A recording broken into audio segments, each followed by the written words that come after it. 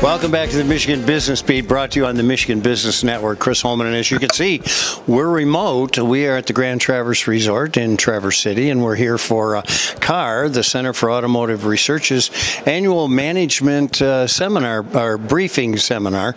And uh, we have with us, of course, and I'm not going to give you all your title because we only have like six minutes, but Glenn Stevens, head of MICHauto, sure. and a number of other things. Uh, Glenn, it's good to see you up here, and of course, obviously obviously this is a place you have to be as as well as being integral to it. Yes, we've been here for many, many years, and MICHauto's built a presence here the last five or six years. And if you're not in the room, you might miss something really critical and part of the conversation. This is this is a be in the room, not a Zoom type of thing. So it's good to be here. Well, you know, it's interesting because for years we came here and it was mobility, mobility, mobility, and it was all about that. But there's some other issues now. I was just down and uh, caught a little bit of the keynote speaker this morning, and she was talking about management and how to make it a good place to work, etc people obviously are one of the challenges. Yes, I just ducked out of that too. That's Priscilla Archangel. Right. We work with very close. She's also a Detroit Chamber board member, so we know that.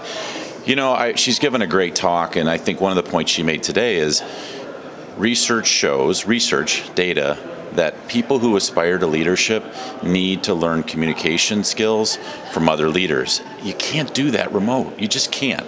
And so it really made another powerful reinforcement this morning. But those are the types of things we're talking about right now.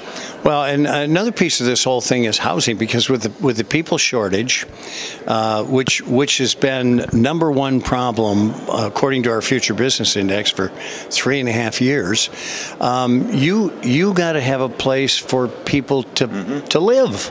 Yes, in fact, uh, thanks to the Michigan Municipal League, they reached out to us recently and engaged us in some legislation.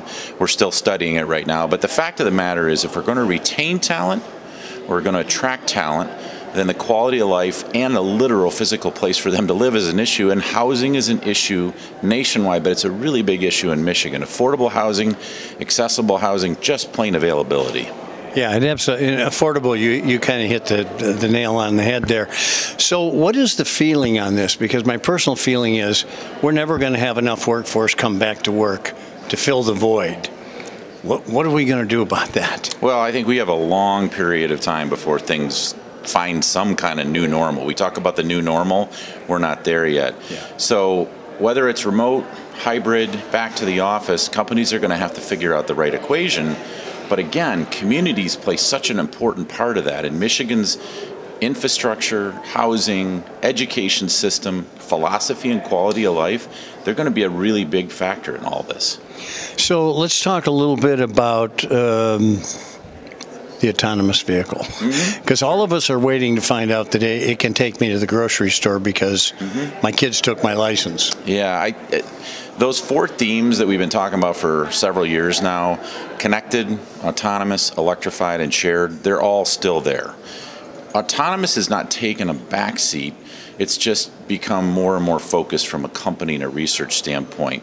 So it's going to be solving problems, but when you look at what's really, really important in addition to autonomous, digitalization, and electrification. Those are the really two hot buttons right now. But autonomous is still there with us. Yeah, and and whether or not a totally autonomous can ever be re, uh, reached, that that's a bit of an issue too. Yeah. Uh, however, you know, there's a pilot, and they're here from Turkey. Mm-hmm. There's a startup company, uh, Adastec. I'm probably pronounced that wrong.